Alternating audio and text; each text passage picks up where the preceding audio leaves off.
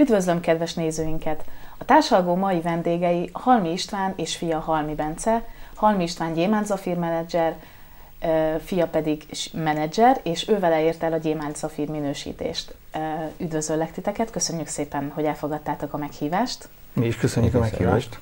Ez egy különleges élmény nekünk, hiszen az FLP történetében elég egyedülálló az a sikertörténet, hogy egy család, ugye most csak ketten ültök itt, de hát nyilván négy tagú ez a család, érte el ezt a sikert, és egy komoly példaként szolgáltok apa-fiú tekintetében. Bence, első kérdésem hozzád lenne, hogy gyerekként hogy viszonyultál, hogy egyáltalán tudtál erről, hogy a szüleid mivel foglalkoznak, milyen volt ez gyerekként megélni, jártatok el rendezvényekre, vagy csak otthon tapasztaltátok ennek a jó oldalait? Igazából az elején azt tudom mondani, hogy csak azt láttam, hogy, hogy emlékszem arra, hogy mielőtt elkezdték apáik a Forever-t, előtte volt, hogy fent is voltak, volt, hogy lent is voltak, emlékszem, volt szép autó, volt nagyon régi autó, ami annyira nem tetszett, és először csak azt vettem észre, hogy újra lett szép autó, újra elmentünk nyaralni, és, és úgymond ez, ez tetszett az elején.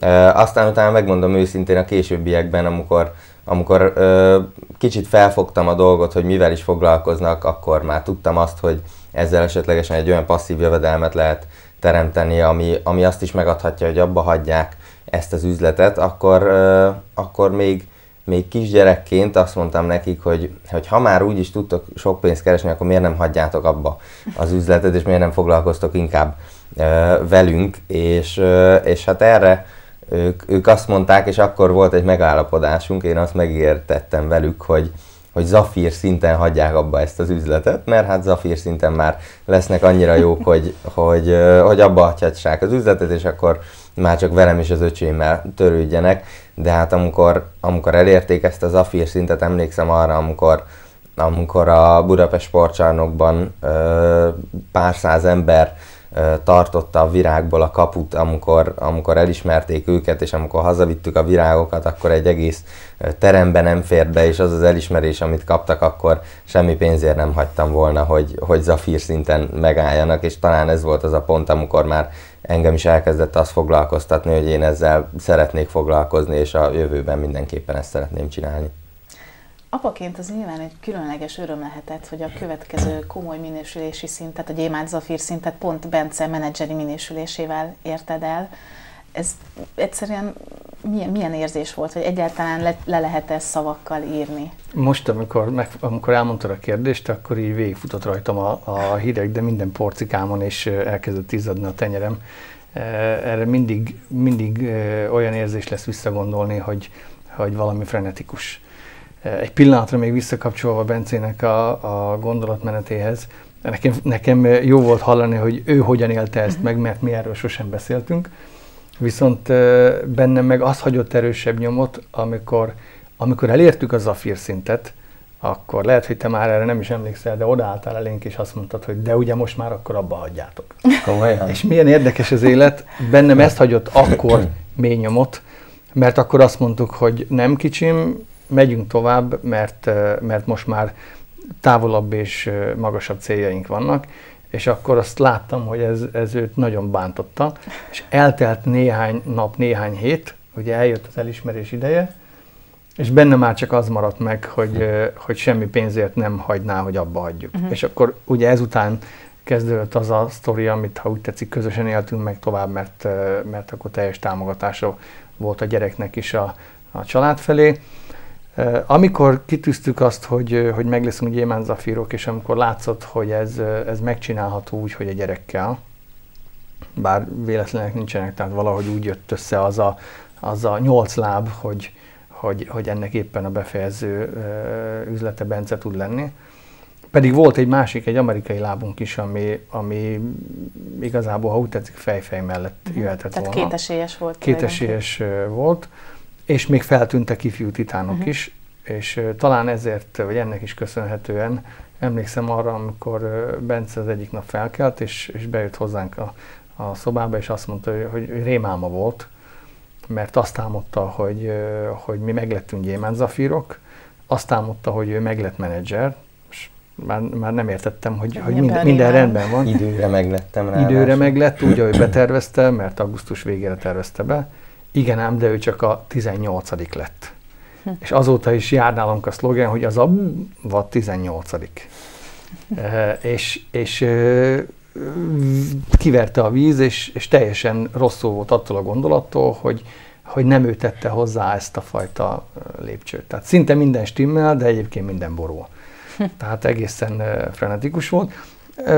Ráadásul akkor, amikor, amikor még nem tudtuk, hogy ő mikor akar menedzser lenni, vagy mikor lesz, amikor még nem láttuk a, a, azokat a vezetőket, akik az ő üzletében fel tudnak nőni ahhoz, hogy, hogy supervisorek legyenek, akkor mi az amerikai úthoz hozzátettünk néhány hetet, és lekötöttünk egy több mint egy hónapos amerikai utat, az gyakorlatilag augusztus elejétől szeptember elejéig tartott.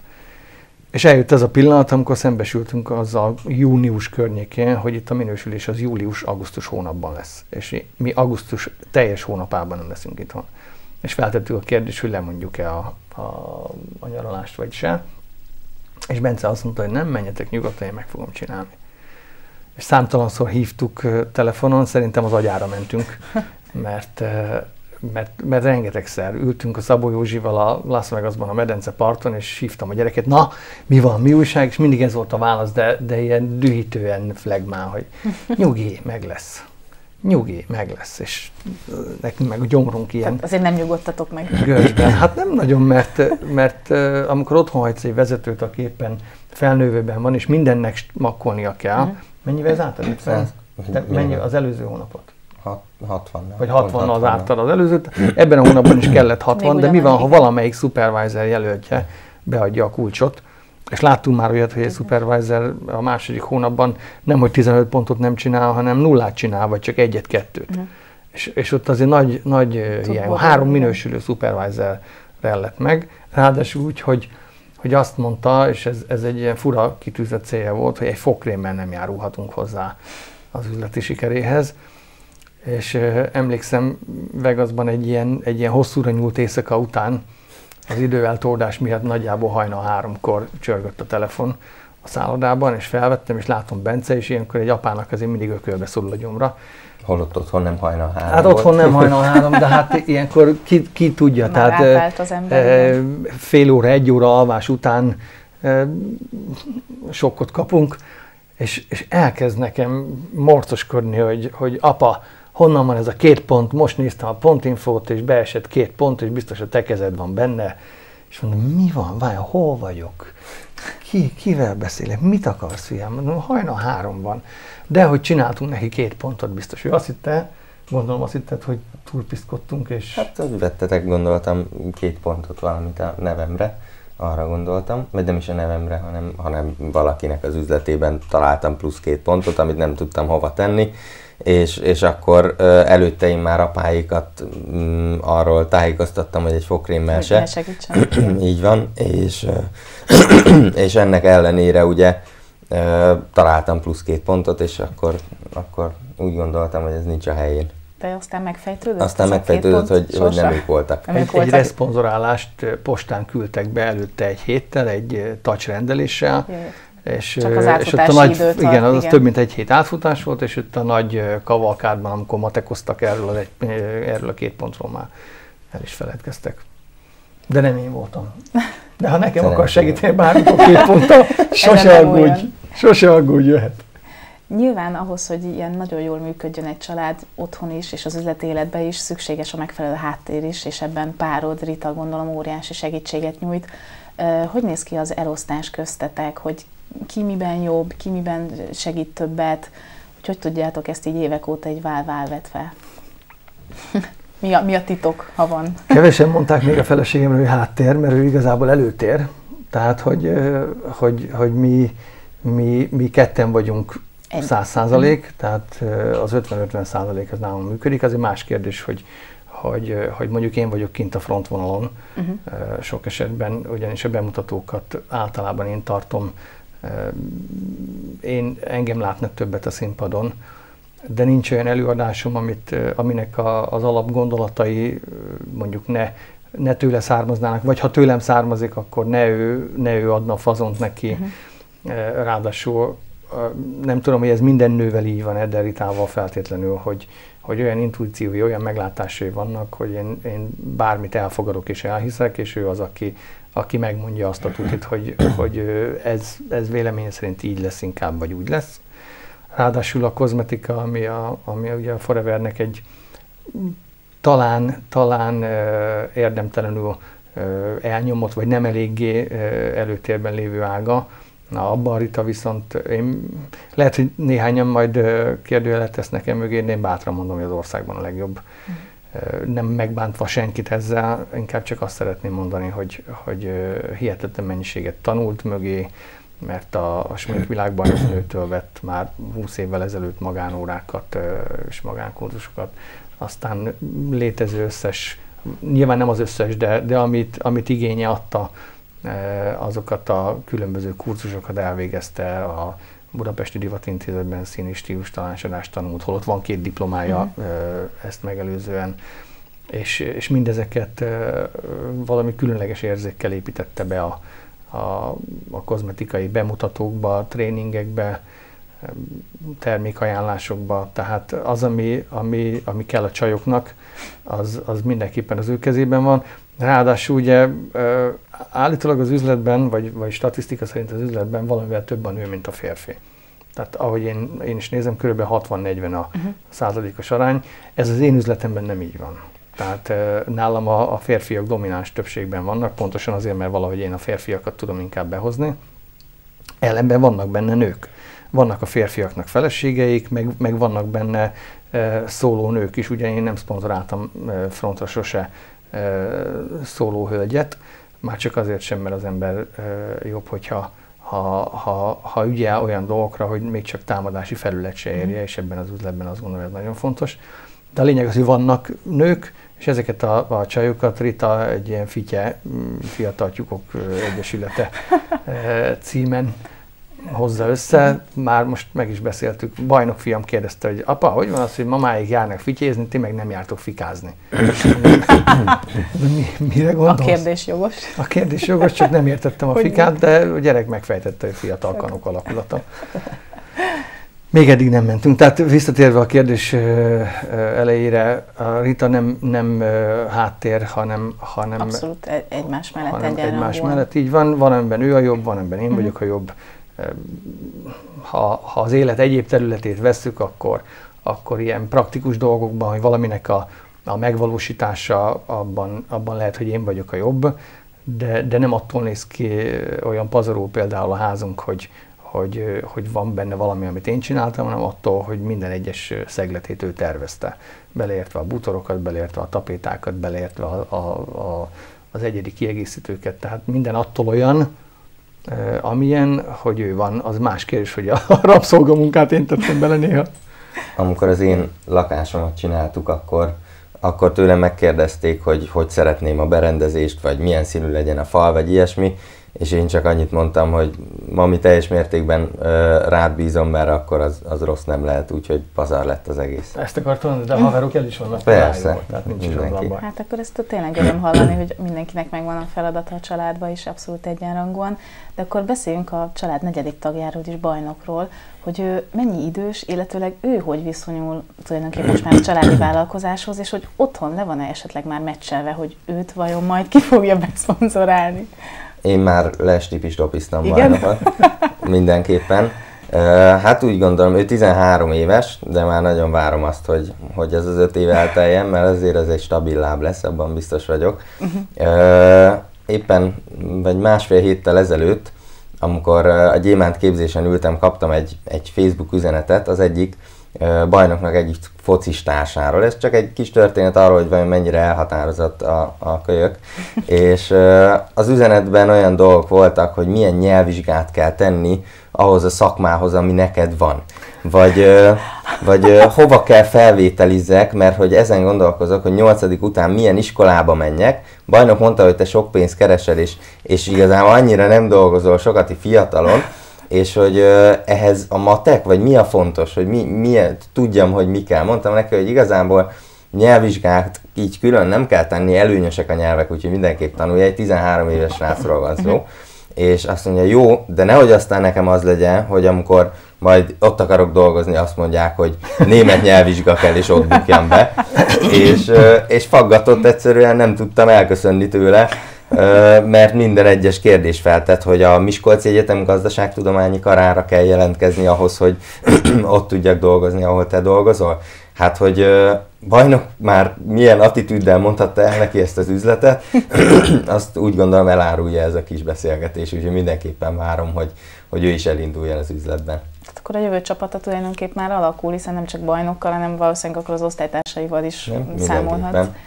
Azt gondolom, egy elég érdekes elképzelés lenne, vagy a jövőre egy terv, hogy esetleg te is egy ilyen komolyabb elismerést, akár pont a bajnok menedzseri szintjének az Benne van a fejemben. Ez és nagyon szépen ismétlődte meg a múlt. Az, az, az mindenképpen örömmel töltene el. Én nagyjából úgy csatszoltam, hogy egy, egy Zafír szinthez simán lehet bajnok a, a kilencedik, ami azt jelenti, hogy év múlva múlik el 18 éves, uh-huh akkor mondjuk adunk neki egy évet. Mégiscsak jöjjön bele. Igen, és akkor nagyjából hat év múlva úgy gondolom, hogy reális lehet számomra az afír, és ez, ez benne van a fejemben mindenképpen célként.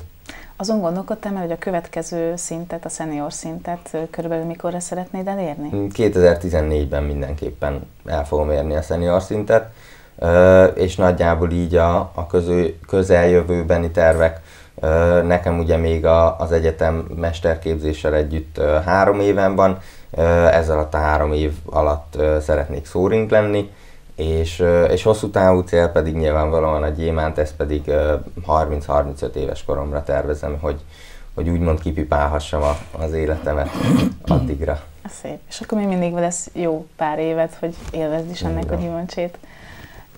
A következő szint, ugye az egy elég komoly szint, a gyémán szint. Erről beszélhetünk már esetleg, hogy hogy látod, hogy mikorra realizálódhat? Nyilván ebben még sok munka van. Jaj, egy, azért szakadt ki ez a jaj, mert én 50 éves koromra tervezem a gyémántot. Olyan jó volt hallani, hogy 30-35 éves kor. 30-35 éves koromban még kamionsofőrként róttam az utakat, és és éppen a következő vállalkozásomon gondolkodtam, és még vízumot kellett szereznünk ahhoz, hm. hogy, hogy el tudjak menni, nem tudom, Belgiumba. Hm. És, és azért szakadt ki ez a jaj, mert 50 éves koromra tervezem, uh-huh. de 50 éves koromig már csak másfél év van hátra vagy valamivel több, mint másfél év. Tehát e, reálisan azt gondolom, hogy e, azt gondolom, hogy meg tudnám csinálni. Tehát azért van bennem egy ilyen, egy ilyen kettősség. Uh-huh. Meg tudnánk csinálni, ezt meg is beszéltük Ritával, hogy tényleg meg tudnánk csinálni. Abban nem vagyok biztos, hogy, hogy meg akarom fizetni az árát, vagy meg akarnánk fizetni uh-huh. az árát. Ugyanis van bajnok, ugye, akiről igen, beszéltünk, igen, aki most Miskolc egyik, vagy én azt, azt gondolom, hogy a legerősebb gimnáziumában, hatosztályosban most, most kezdte az évet. Speciális matematikán minden egyes nap 7 órájuk van, mellette neki a 7-5 napjából már hogy az öt iskolanapból három nap edzése van, futballedzése van, és ugye hétvégén pedig mindig meccse van. Tehát vannak olyan, olyan szülői, mm, az nem jó szó, hogy kötelezettségek, hanem olyan feladatok, amiket, amiket én akarok megcsinálni. Igen. Vagy együtt akarunk megcsinálni. És nem biztos, hogy, hogy be akarnám áldozni uh-huh. csak azért, hogy, hogy másfél év alatt gyémánt legyek. Mint ahogy Azért költöztünk ki annak idején Floridába hosszabb időre, azért költöztünk ki annak idején Dubajba hosszabb időre, mert ugyanazt az időt eltölthettük volna munkával is, és akkor már gyémántok lennénk. És nyilván nem, nem, hogy nem lebecsülve, hanem, hanem áhítva ezt a gyémántot, de, de mégis azt gondolom, hogy nekünk így, így teljes a, a, az életünk, hogy, hogy amit legjobban szeretünk, az a két dolog, a, a család és az utazás, ennek mind a kettőnek a, az oltárán az átlagnál többet áldozunk.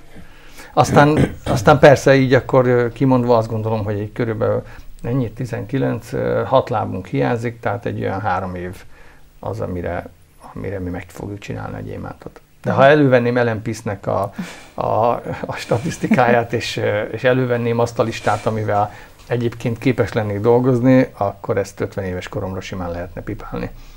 Újra mondom, nem, nem biztos, hogy, hogy akarom. Uh-huh. Még ez egy vívódás egyébként oda bent. Igen, nálatok hogy néz ki maga az üzletmenet? Hogy közösen szoktatok képzéseket, előadásokat tartani, vagy így eléggé élesen külön van választva? Nyilván neked gondolom könnyebb a fiatalokat bevonzani, nyilván az osztálytársaidat, esetleg neked nyilván megint más a kör, amiből meríthetsz, hogy mennyire dolgoztok közösen, vagy néha van, amikor kikéred édesapádék segítségét, ez körülbelül hogy néz ki így felosztásilag? Akkor kezdem én a választ. A segítségét, tanácsát minden esetben igazából kikérem, és, és ha, ha bármi történik az üzletemben, akkor ő az első, akit, uh-huh. akit hívok, és, és úgy gondolom, hogy egy ö, nagyon jó üzleti apa-fiú viszony van köztünk, mert, mert mindenben adok a, a tanácsára, és, és így van igazából, hogy bármi történik, akkor hívom, hogy hogy, hogy csináljam, mint csináljam, legyen ez egy, egy kihívás, amit a csoportomon belül csinálok, akkor is mindig megkérdezem előtte apát, hogy hogyan dolgozunk, mondjuk a bemutatókat hogyan tartjuk.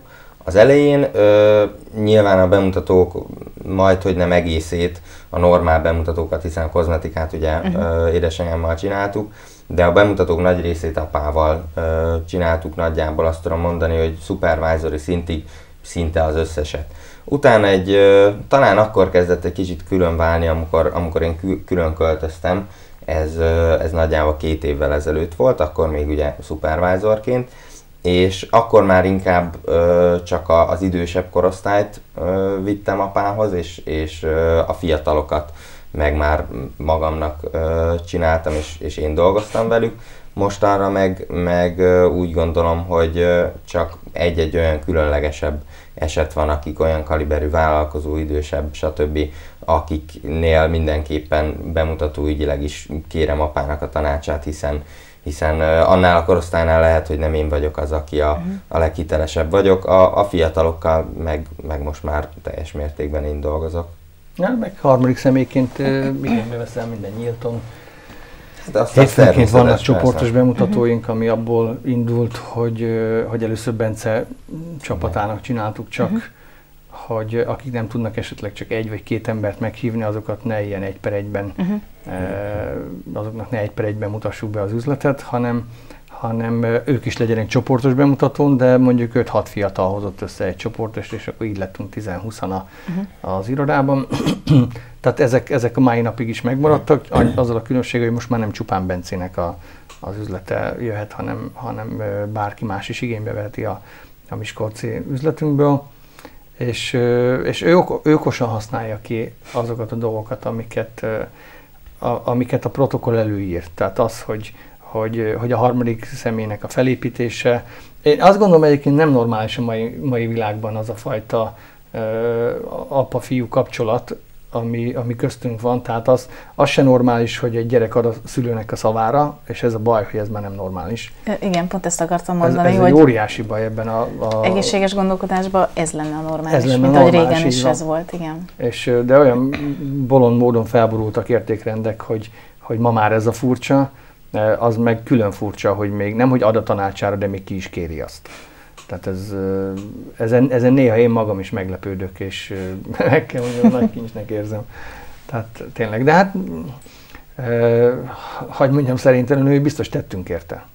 Ez így van, és akkor remélhetőleg, hogy akik viszont ezt látják példaként, és a ti csoportotokban vannak, meg hozzátok csatlakoznak, akkor hát, ha akkor nem csak az üzletben, meg személyiségfejlődésben lesznek sikeresek, hanem akár a családmodelljükön is tudnak ezzel javítani, vagy akár a saját szülő-gyerek kapcsolatokon. Na, azon mosolyogtam, hogy, hogy velem, velem nem mindig jártak jól a fiatalok, mert volt olyan, hogy leültek a, a, a nagy tárgyalóasztalon köré, és nekem az első kérdésem az volt, na hogy állnak a kreditek, srácok? Tehát kinek, kinek mennyi a kreditje?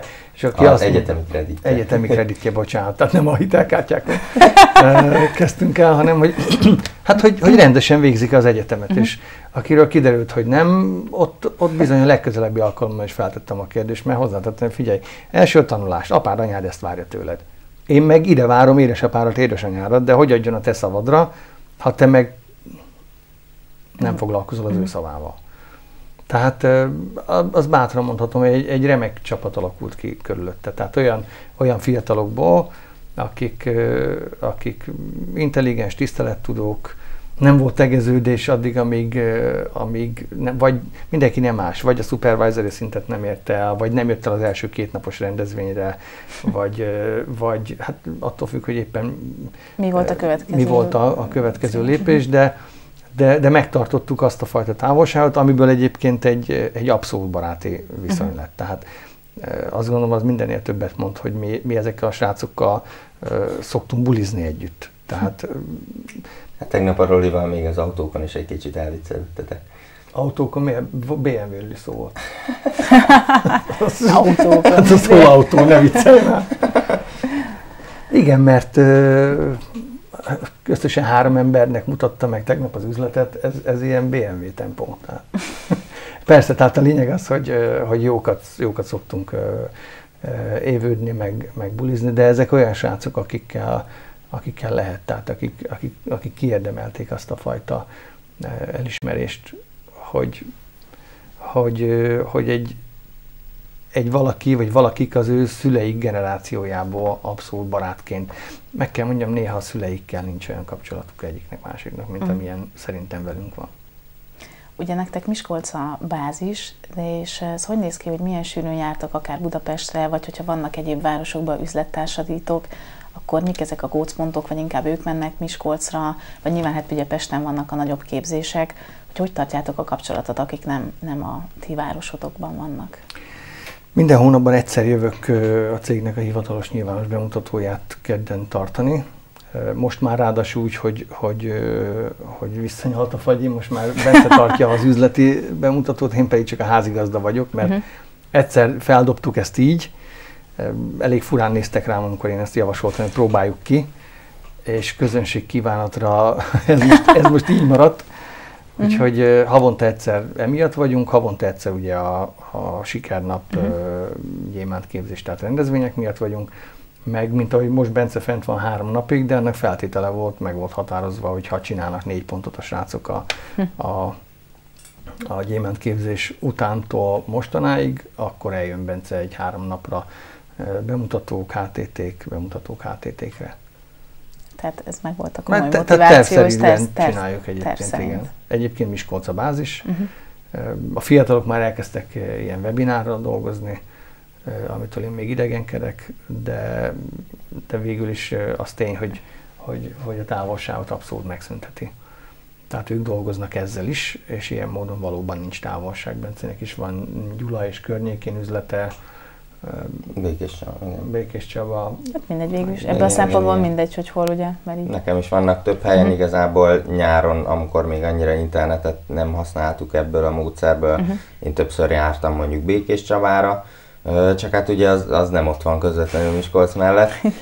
Az utak se annyira jók arra felé, úgyhogy kerestünk valami más megoldást, de, de ez az internetes módszer, ez, ez, ez így egész jónak bizonyul, és, és úgy gondolom, hogy jövőben a, a távolságok áthidalása érdekében mindenképpen lehet ezzel is haladni, meg hát ilyen, ilyen kihívásokat próbálok a csapatnak adni, hogy ha teljesítenek valamit, akkor megkapnak három napra, és akkor meg, uh, akkor meg ideje Mercedes tempóra váltani. Tehát komoly lendület. Így van. Nagyon szépen köszönjük, hogy elfogadtátok a meghívást, és köszönjük, hogy példaként szolgáltok nekünk, és további sok és szép sikert kívánunk az elérendő célokhoz. Köszönjük szépen! Nézőknek is köszönjük szépen a figyelmet, viszontlátásra!